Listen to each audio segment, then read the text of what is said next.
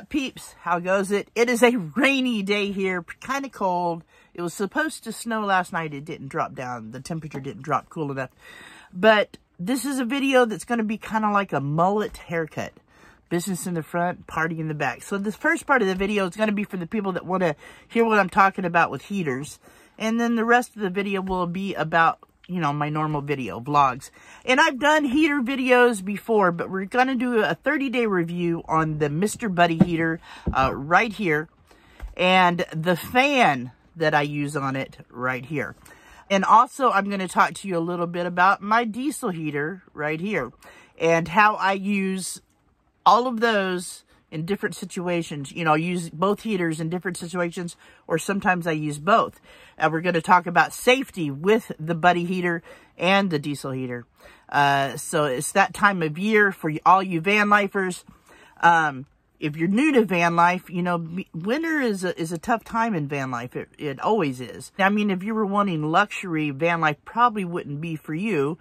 Uh, I mean, probably, you know, it, you can't have everything just perfect. I mean, you could, I mean, but most of us that jump into van life are, uh, on the financially strapped side or, you know, we don't want to spend that much money to be like it is to have that perfect temp.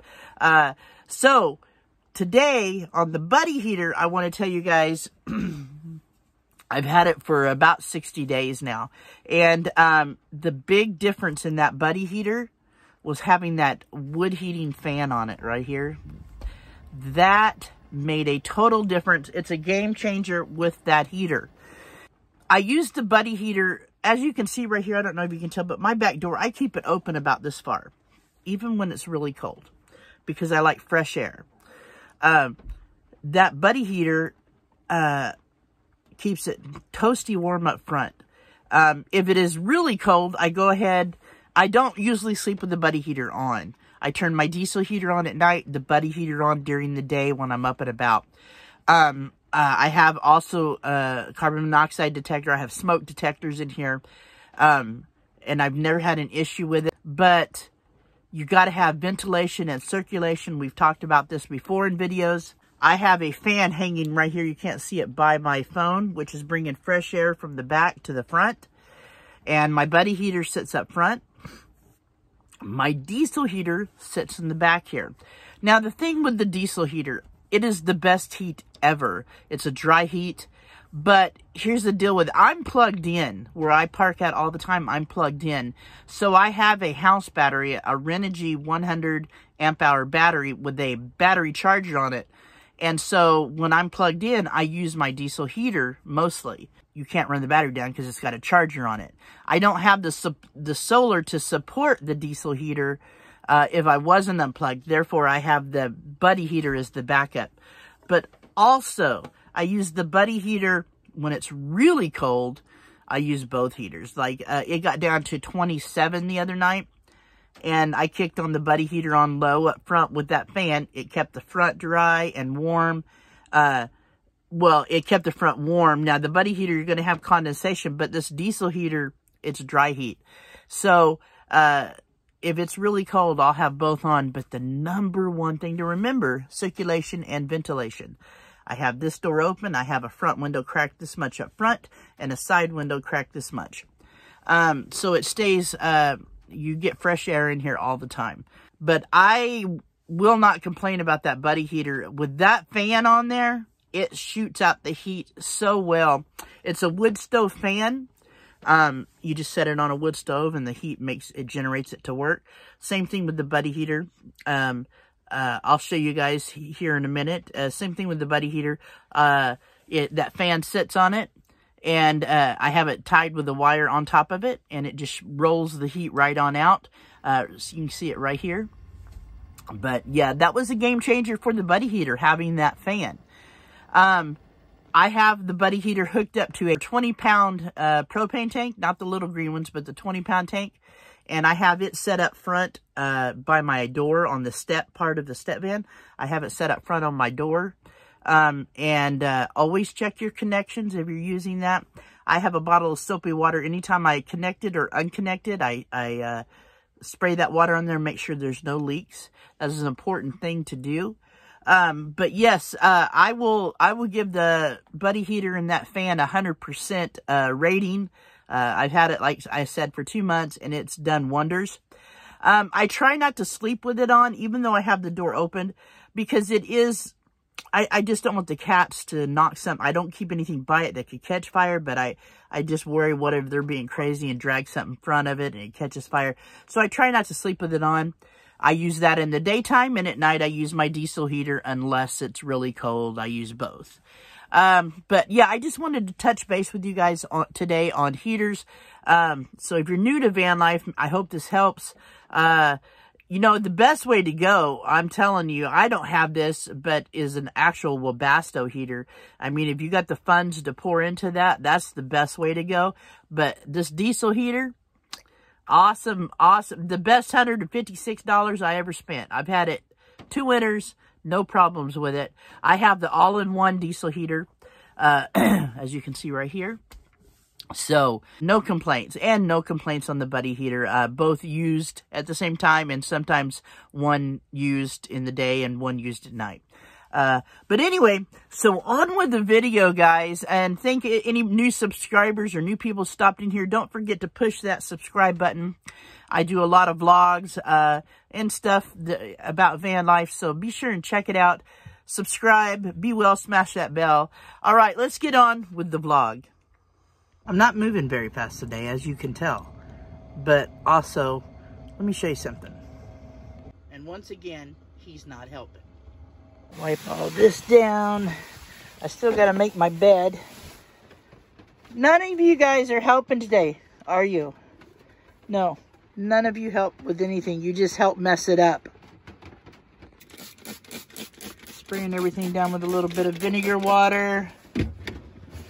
Wiping it all down. Ugh, I didn't do a whole lot yesterday.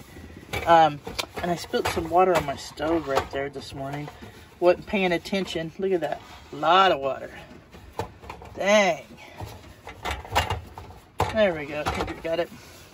And wiping everything down. I think I'm going to do something simple for dinner tonight. Maybe some eggs and hash browns or something like that. With some onion, bell pepper. We'll see. Just a one pan thing. But eggs sound good today.